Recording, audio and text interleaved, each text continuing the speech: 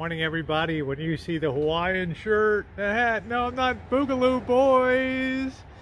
I'm getting ready to do some electrical work today. Let's explain what's going on. One thing that I have a real hard time controlling here on the Rancho is well leaks, and they they come up, they spring up, they've got to be dealt with, and it's a real. You can see this is still moist from before when I dug that, and it's a real pain because this time of year the well can run dry and as a result that pump will just run and run and run and run and run and it won't cut off. Then the electric bill goes sky high so I've decided I'm going to mount a timer that runs that. So worst case scenario it'll run for about one hour every day. And I think that that will be uh, okay. So let me show you what I got. This is the timer I got. It's rated for outdoor use, which is nice. How that cover closes, so it has the under mount. I'm going to put a plug on the pump.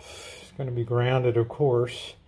And then it'll plug right in the bottom right there. So I'm going to try to hardwire the uh, power into here. I'm going to open this up and see how hard that would be for starters. I've gotten the unit taken apart so I can preserve this connector. So all we have to do is bring the uh, wiring into the bottom of the box on this side and we should be uh, we should be good to go. Let's go outside and see where we're going to mount it up.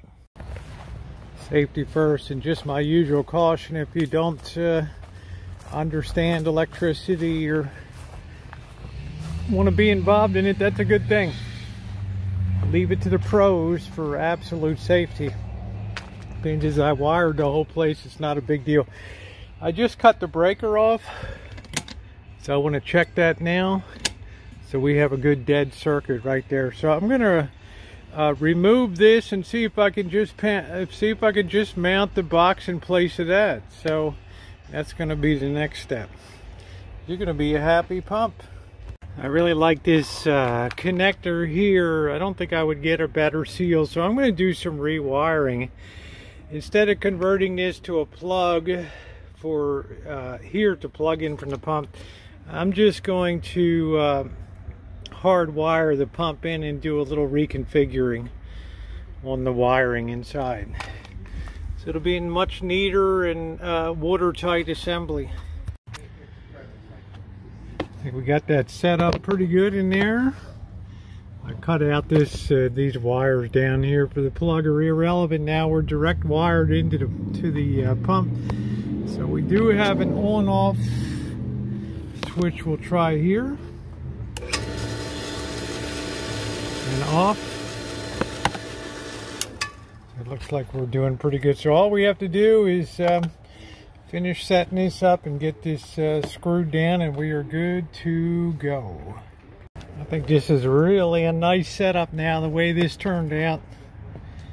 So we're making sure that the clock works. So I've got the power on. I want to make sure that it is uh, it is advancing here. And we can put our pins in for our start and stop time. But pretty happy.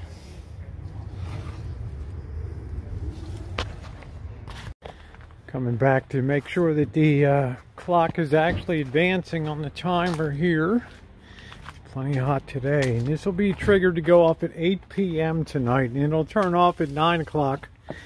Let me see. Yeah, it'll come on about 7.45. And it'll go off at um, 9 o'clock. So that'll be fail safe. And it looks like the clock has advanced. It is 2 o'clock now. So it looks like that we are in good shape here and I'm really happy about the way they turned out. So I want to thank you guys for being along on another project today. Your thumbs up are appreciated.